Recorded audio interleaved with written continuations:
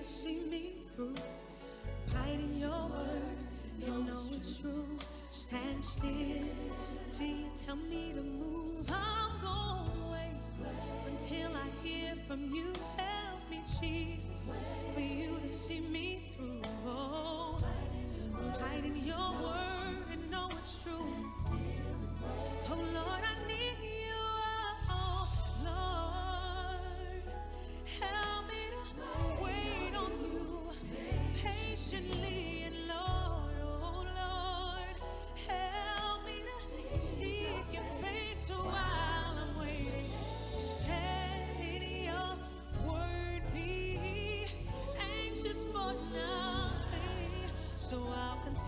serving you. Yes, I'll continue praising you. Oh, while I wait until I hear from you, help me, Jesus, for you to see me through. Oh,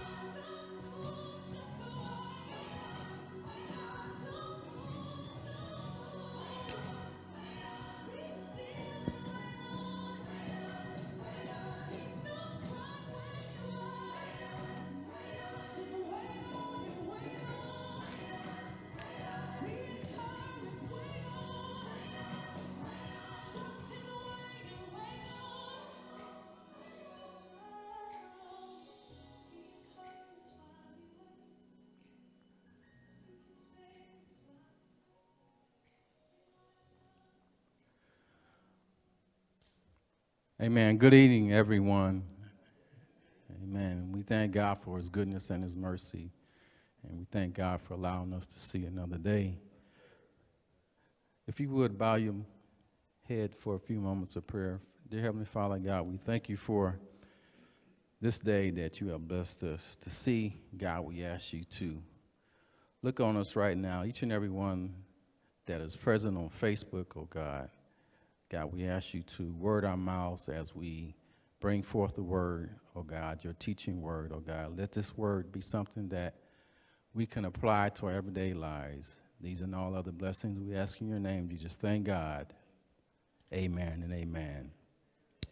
Amen. We thank God for, uh, again, blessing us to see another day, and we thank God for another Thursday night uh, Bible study teaching lesson. And our theme uh, that we have been focusing on for the past either four or five Thursdays is spiritual formation. It's time for change.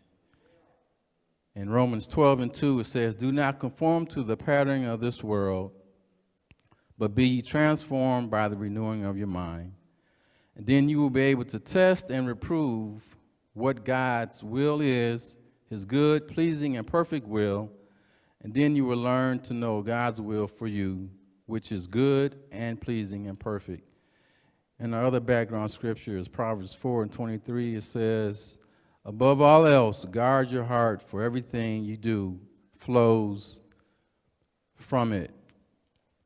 A spiritual formation is an approach to every area of life. It is consciously chosen and sustained relationship between us and God, which we are consistently transformed in the image of God by following God's will and purpose for our life. And the subject that myself, I'm Elder Mark Sutton, and my partner on tonight is Minister Jim James Fitzgerald. Our subject that we have chosen for tonight is formed to be used by God. Can you trust God in the process? I don't know if uh, Brother Yancey, if you could type that on the uh, Facebook comments. Again, our subject on tonight is formed to be used by God. Can you trust God in the process? God is not only forming you for your own personal spiritual growth, and I think we have, uh, most of our presenter, presenters have talked about personal spiritual growth, but He's also forming you so that you can be used for His service. The Bible says in Jeremiah 29 11, For I know the thoughts that I think toward you, says the Lord, thoughts of peace and not of evil, to give you an expected end. Philippians 1 and 6 says, Be confident of this very thing, that he which has begun a good work in you will perform it until the day of Jesus Christ. So, what God has started in you, he will complete it. He will form you into what he wants you to be. The catch is if you allow him to do that. Formed to be used by God. Can you trust God in the process. So tonight, myself and Minister Fitzgerald want to speak on a couple of well-noted Bible characters that were formed to be used by God. But before we go any further, there's a video titled Trust the Process.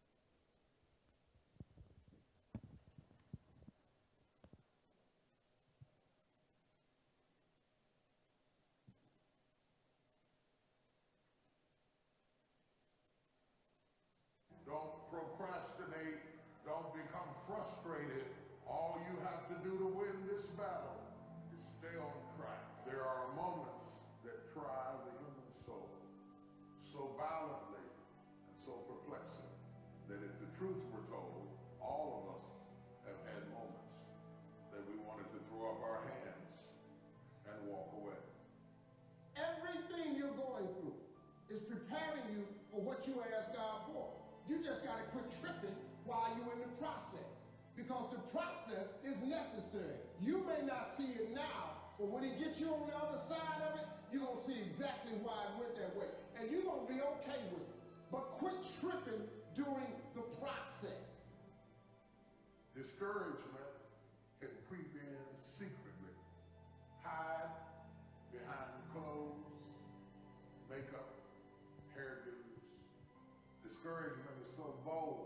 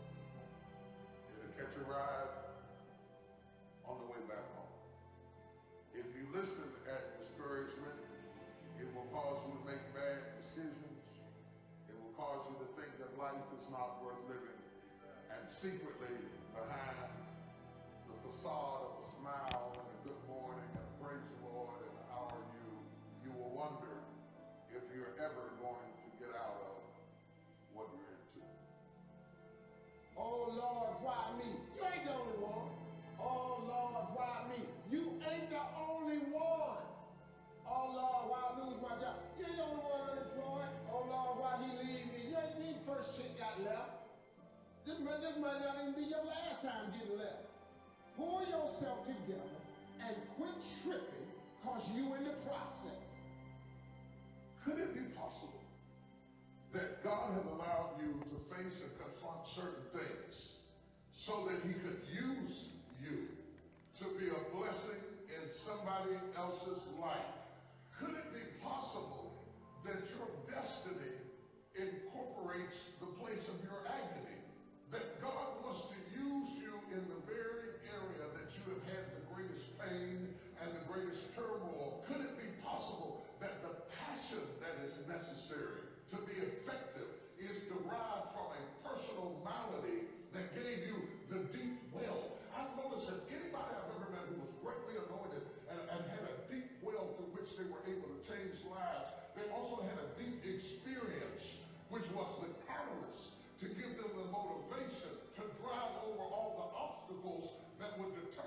destiny and give you the power to, as I like to say, take a licking and keep on ticking because you are driven by more than finances, more than money. You are driven by a personal experience and an encounter with God. God Amen. As we can see in the video, and it's talking about the formation is not all about you, but it's also about you going through your process so that you can be a help to others. Amen. Go ahead, Yancey, brother Yancey. Go ahead and uh, continue the video. God is processing you. He ain't through with you. If he was through with you, you would not wake up in the morning. He gonna fix it. Everything is wrong. First of all, let me tell you this right here. Why are you tripping? I look back on my life and all that I've been through. So the stuff I'm currently going through, I have built up enough reservoir that living in the car taught me that this ain't it. So the things I'm going through now, I know this ain't it. That he gonna come get me in a minute. So all I gotta do is sit tight. I ain't in a bad place. Now I ain't where I wanna be, but the spot I'm in is better than where I was. I ain't homeless. So what I'm going through right now, y'all don't know I got some challenges. People think when you get famous or rich that your problems is over. Oh, they got a whole new set of them for you. They got some stuff you ain't seen. Biggie wrote a song said one time, more, more, more money, more problems. I, I gotta tell you something, that boy wasn't never lying. But the truth is that Hollywood's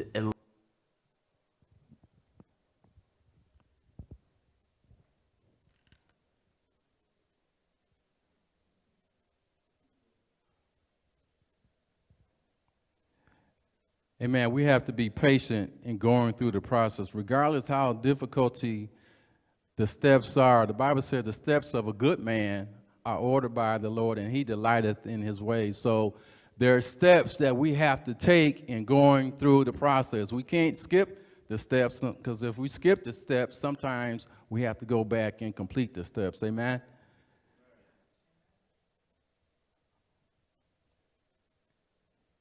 Go ahead and start it, Brother Yancey, at 750.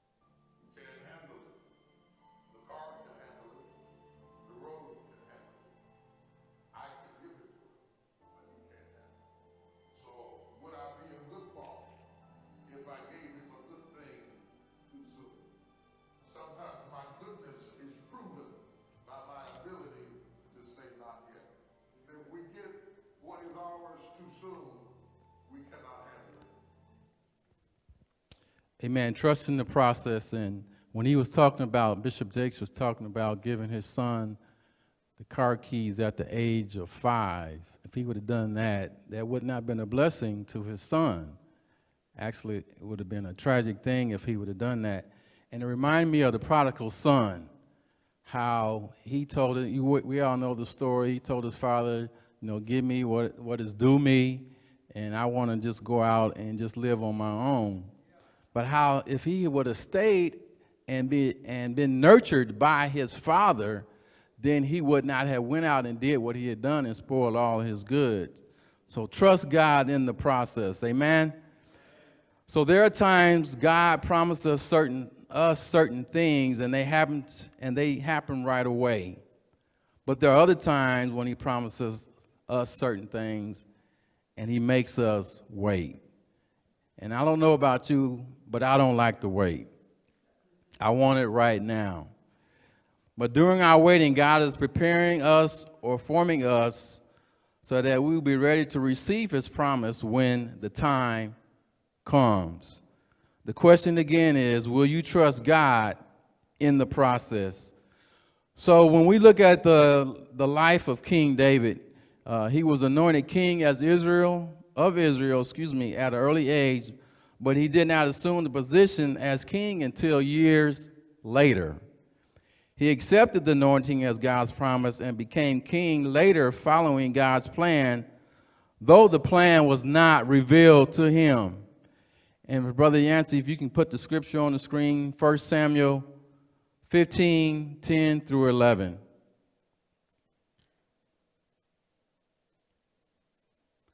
Then the word of the Lord came to Samuel I regret that I have made Saul king because he has turned away from me and has not carried out my instructions.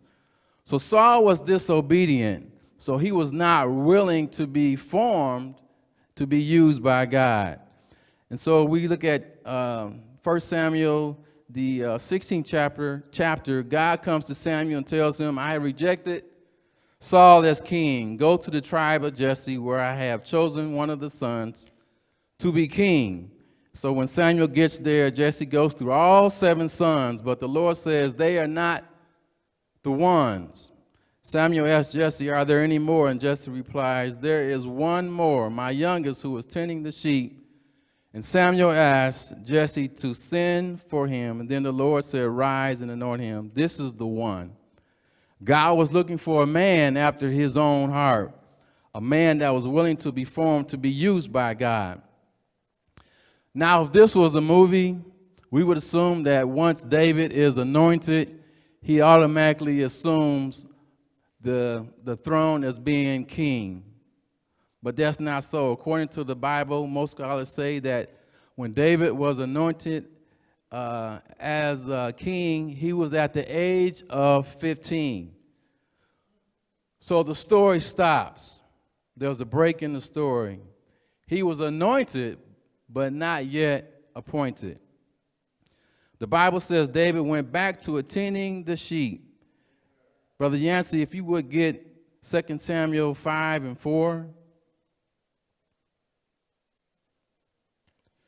So when you read that, it was not until 15 years later, at the age of 30, David began to reign as king.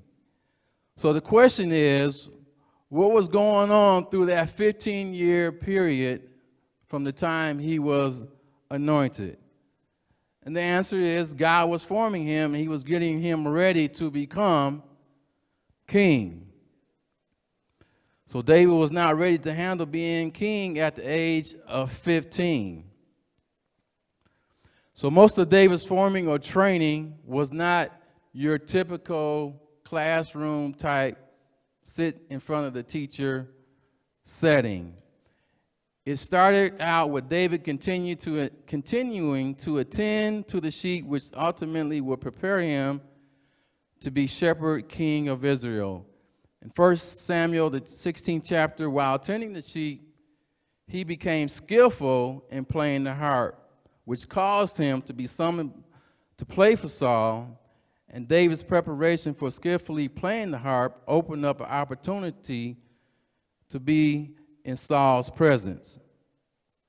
In 2 Sam, excuse me, 1 Samuel chap, chapter 17, the Bible, excuse me, by David being in Saul's presence, this allowed him to testify to Saul that he killed both the lion and the bear. So this afforded David the opportunity to fight Goliath. In 1 Samuel chapter uh, 18, by defeating Goliath, David becomes a leader in Saul's army. But however, David's training now takes on a different approach. Saul now becomes jealous because David is getting all the credit. You know, and the Bible says the chanting and the singing went on. Saul has killed his thousands, and David his ten thousands.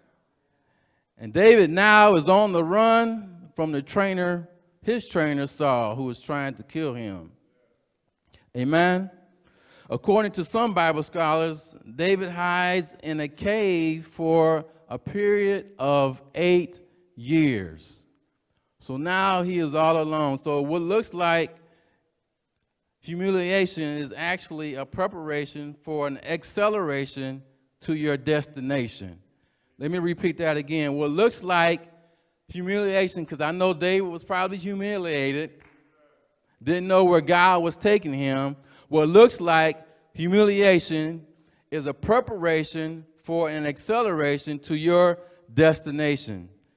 So David turned his wilderness into a training ground and a place of worship. Can somebody say hallelujah? So while in the cave, according to most Bible scholars, that's where David wrote most of the Psalms. And some of the Psalms that come to my mind, it says, I will bless the Lord at all times. His praise shall continually be in my mouth. Oh, magnify the Lord with me, and let us exalt his name together. I sought the Lord, and he heard me and delivered me from all my fears. The Lord is my light, and he's my salvation. Whom shall I fear? The Lord is my strength of my life. Whom shall I be afraid when the wicked, even my enemies, he's talking about Saul, and my foes came upon me to eat of my flesh, they stumbled and fell. And though a host should encamp against me, my heart shall not fear. Though war should rise against me, and this I will be confident. One thing, everybody say one thing. One thing I have a desired of the Lord that I will seek after. He wasn't asking for a house, he wasn't asking for a car, but he wanted to be in God's presence. That I will seek after, that I may dwell in the house of the Lord all the days of my life. To behold the beauty of the Lord and to inquire in his temple. Why? For in the time of trouble, he shall hide me in his pavilion, in the secret of his palace of his tabernacle, and he shall hide me, and he shall set me upon a rock. The Lord is my refuge, and he's my strength, and he's a very present help in the time of trouble. Can you say, Praise the Lord? Praise the Lord. How many remember the movie The Karate Kid? And it uh, Daniel gets uh, beat he gets beat up by a group of guys that were in a karate club. And so he meets this maintenance man, Mr. Miyagi. And uh, Mr. Miyagi enters Daniel, Daniel into a karate tournament. So the agreement is made if Daniel wins the karate tournament, the guys will leave Daniel alone. If Daniel loses, then it will be open season on Daniel. So Mr. Miyagi offers to teach Daniel karate. So Daniel was all excited about learning karate. So on the first day, Mr. Miyagi tells Daniel to wax all the cars. Wax on, wax off. Then on the second day, Mr. Miyagi tells Daniel to sand the floor.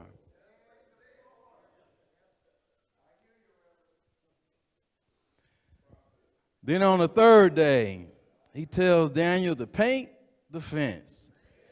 So he's a up and down motion with the with the wrist.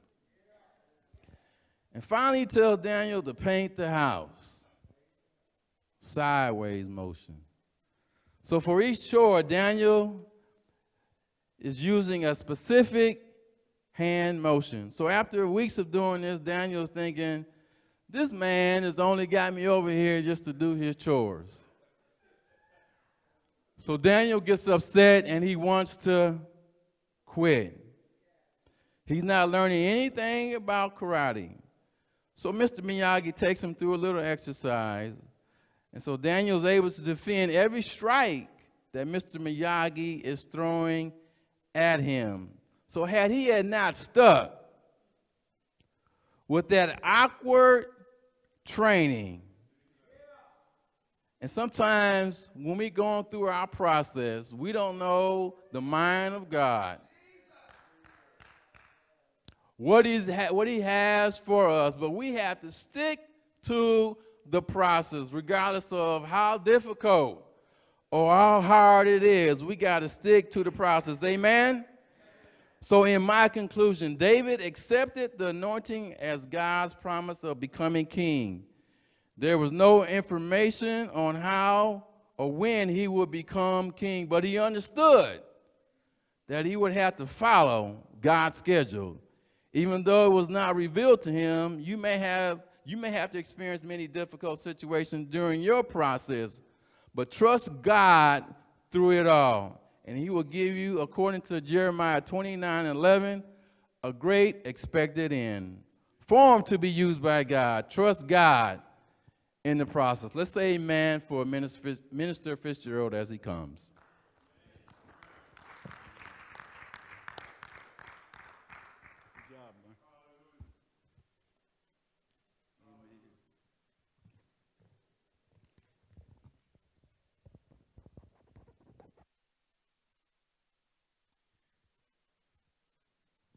We praise God for um, Elder Sutton's uh, message tonight.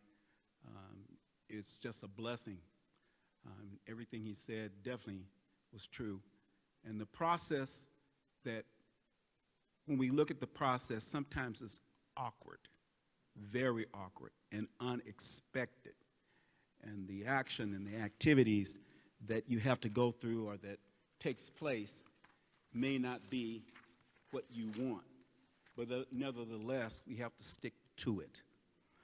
Um, as we look at the theme which, uh, of the month um, of August, it was Reformation, which means to change or make a change. And as stated by Elder, Elder Sutton, our subject is formed to be used by God. Can you trust the process?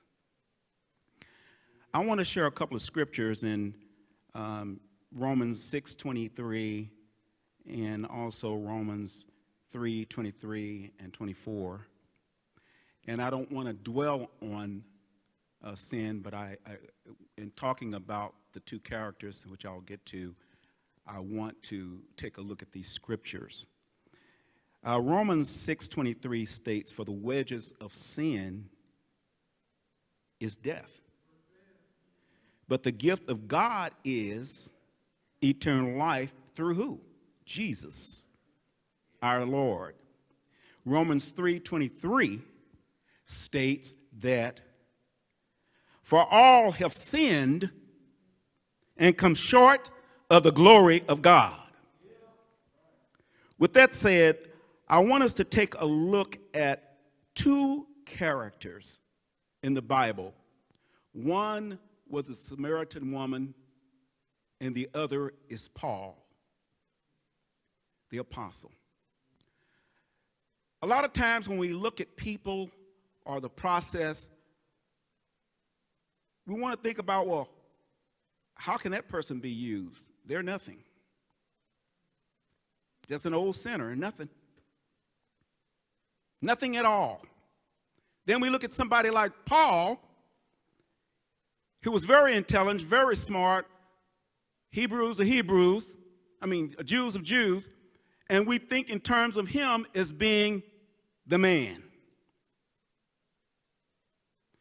But when you look at things through a natural eye, you miss a whole lot.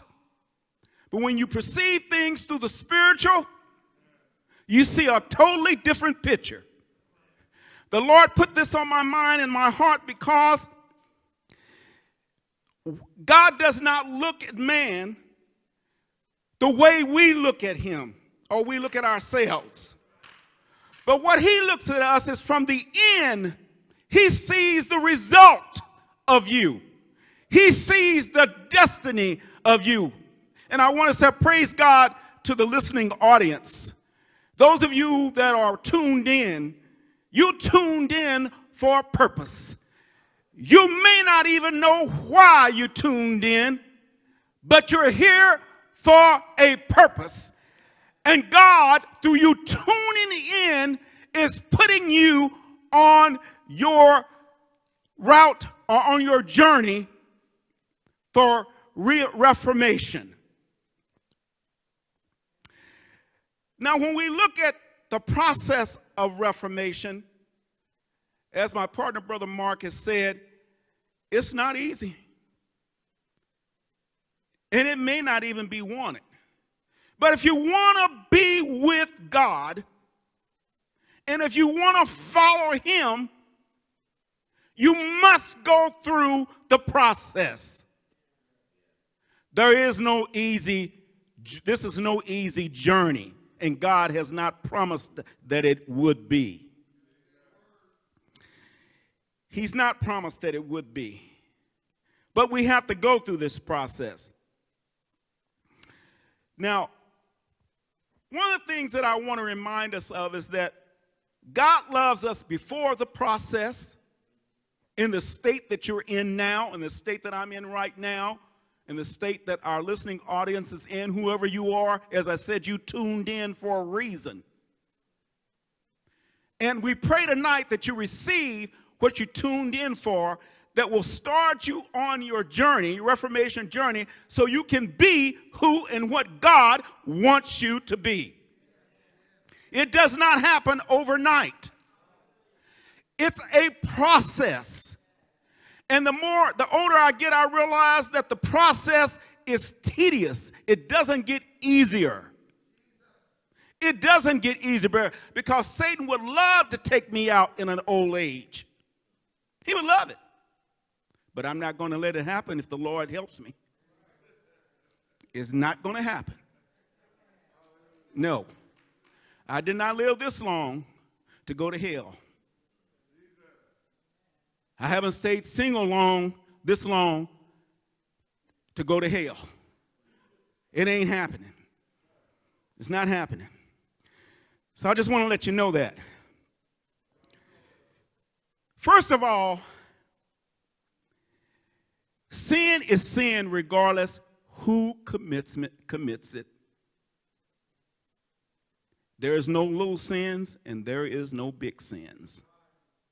It is just sin. Whether you tell a lie, commit adultery, etc., or tell or treat your neighbor wrong, it's still sin.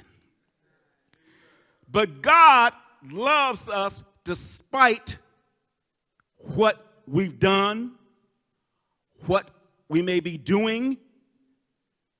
God loves, loves us in spite of. That's why we're on the Reformation process. Now, when we look at the, the Samaritan woman, she, there was no dealings between the Jews and the Samaritans. You want to know why? Simply because of who they married.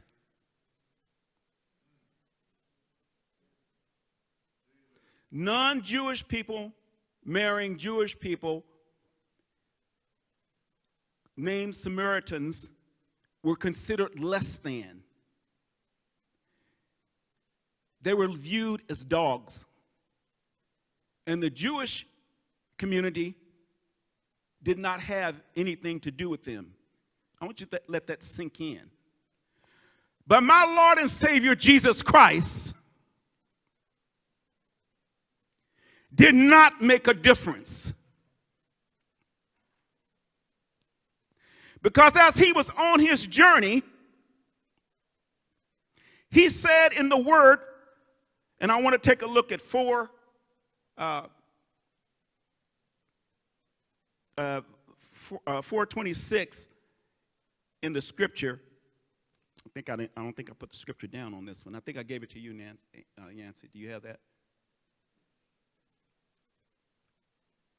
John, I'm sorry.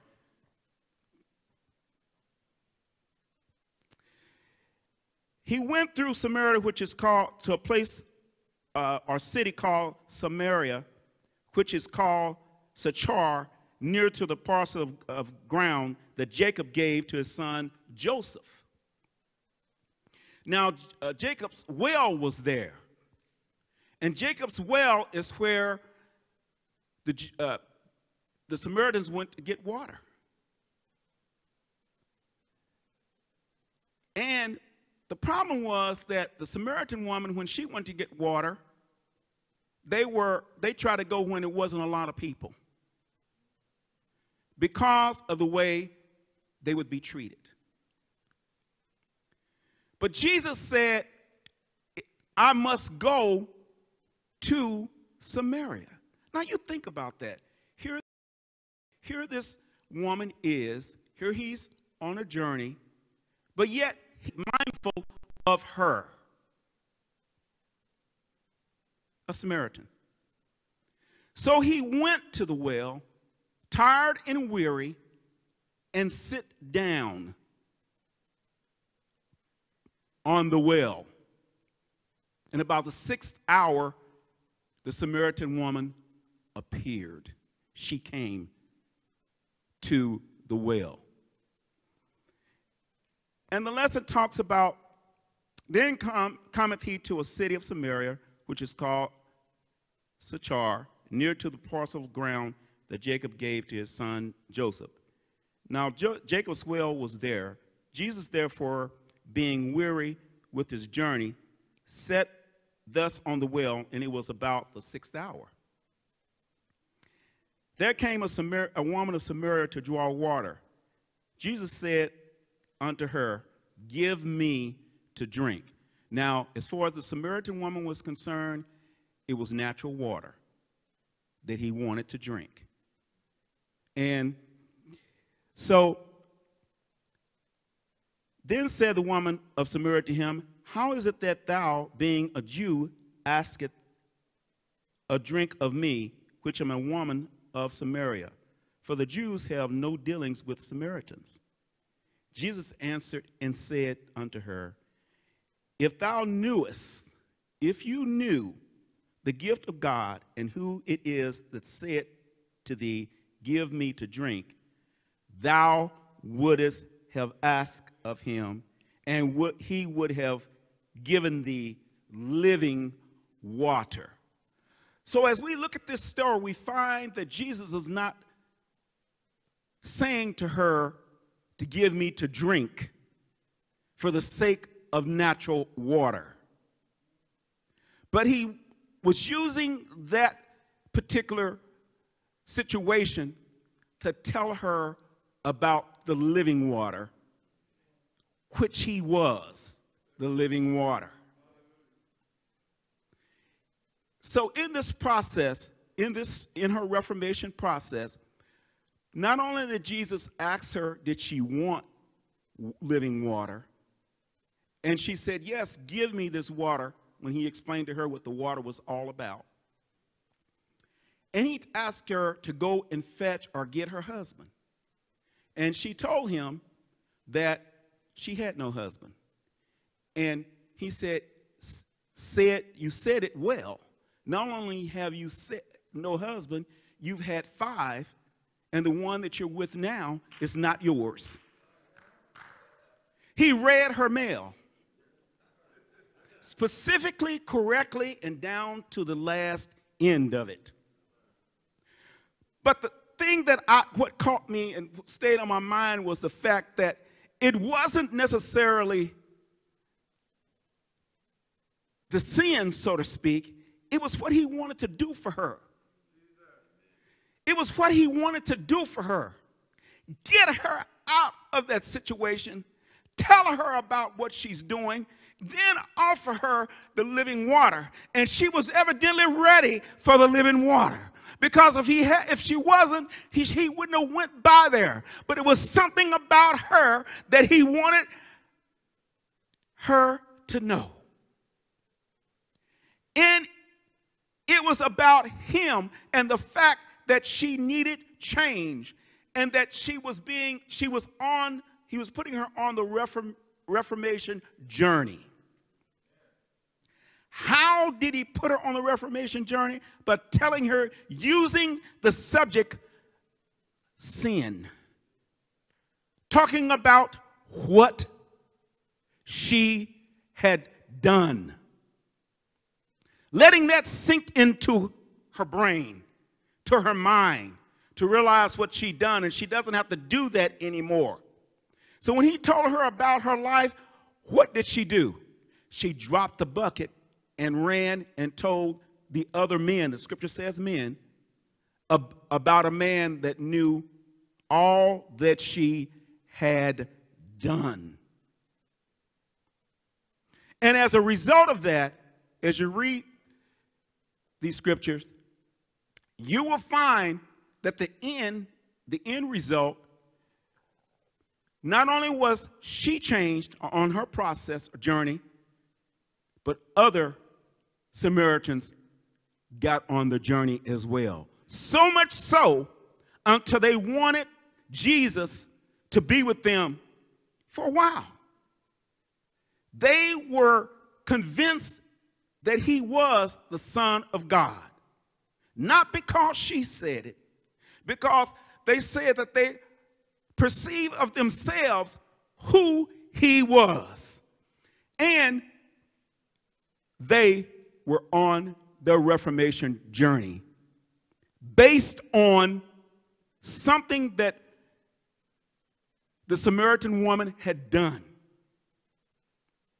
So it wasn't necessarily all about the sin, but it was a, the sin was a transporter, a vehicle for Jesus to tell her about herself and get her to change her lifestyle. Those of us that are walking around here thinking that we're all right, I want to let you know tonight God can read your mail.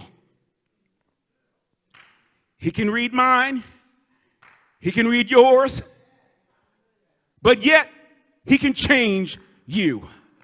And the process, put you on the process, on the journey for a better life with Him. I want to talk now about Paul. Paul was an apostle. But prior to that, Paul was a prosecutor, I'm not a prosecutor, a persecutor of Christians.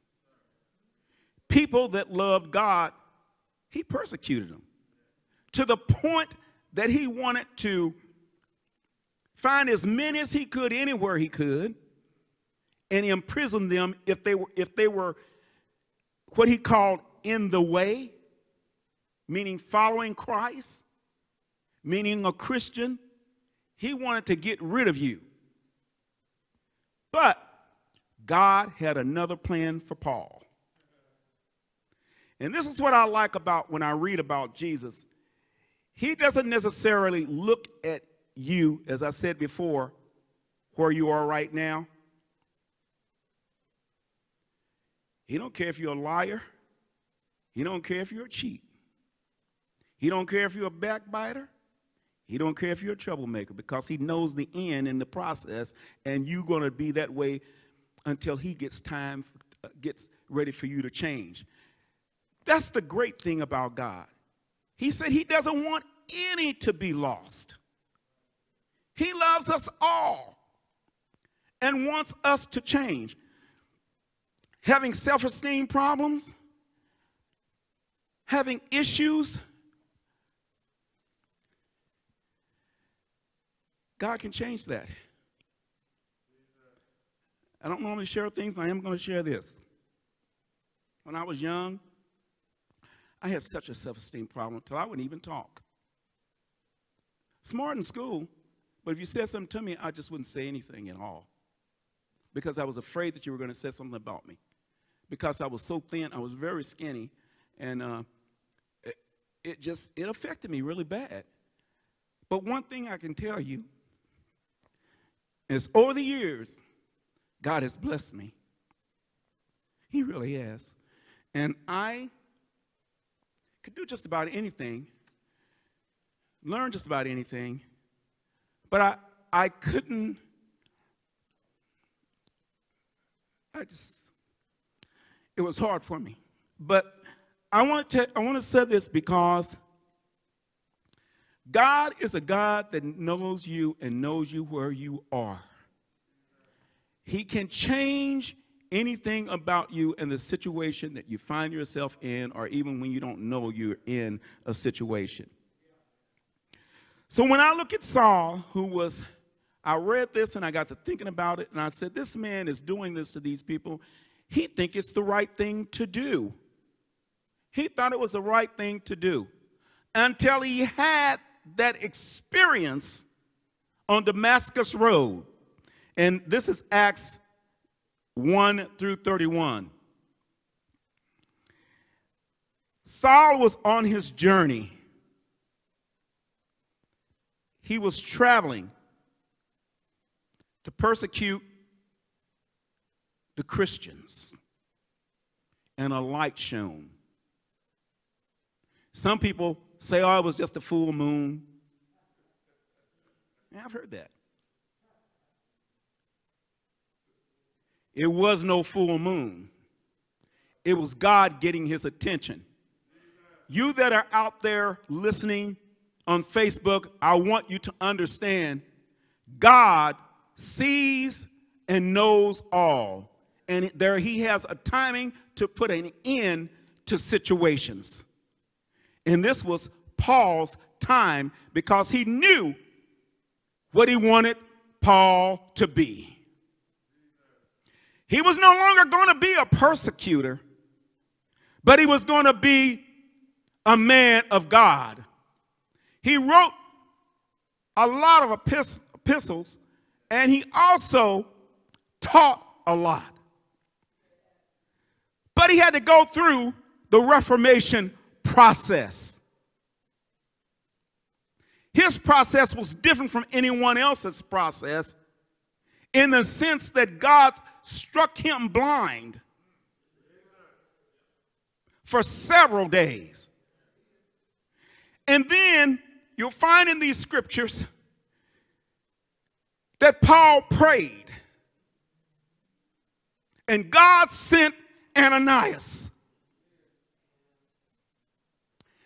And when he sent Ananias, the purpose of Ananias was to put his hand on his eyes so he could see, and the scales fell off. When the scales fell off, Saul wasn't Saul anymore, but he was Paul, and he began preaching immediately. I want you to know something this evening that the scripture is true. And what God says he will do, he can do. And he will do. He never fails us and he never lets us down. So, those of you that are listening tonight, I want you to know that God is looking at you. He knows you. He has got your heart right now because you're tuned in. If He didn't, you wouldn't be tuned in. But you're tuned in because God is having you to do it. He's working with your heart tonight. He's working with your mind tonight to change you into who He wants you to be. God changed everything in this, in this lesson. But anyway, I just want to tell you tonight that when we look at the Word of God, we cannot look at it naturally. And I know we know that. But for me, I'm beginning to see it totally differently. and you can see it when you see it from the spiritual realm. God has more in the scripture than what we think. Because it's directed to your situation, my situation, and anyone else that's going through something or may go through something. Or may go through something. Because he does not want us to be lost. I associated that not being lost with these two characters. Because when you look at the Samaritan woman and her lifestyle, and you look at Paul and what he was doing, and God loved them when he was persecuting his own people, it just shows you the love of God for mankind and for his people. And he does not worry about what you're doing now. So what if you've been if you stole before? So what if you lied before? So what if you drank? So what? God has a plan for you. This concludes my thoughts that the Lord gave me. But I want to say to those that are listening, why did you tune in? Could it be that you want to change your life? Could it be that you feel unhappy or alone or trapped or that you know you need Jesus? Why did you tune in? Could it be that you want to come back to Christ and church after days, weeks, months, and years of unhappiness? Telling you what I know. Looking at my pastor, telling you what I know.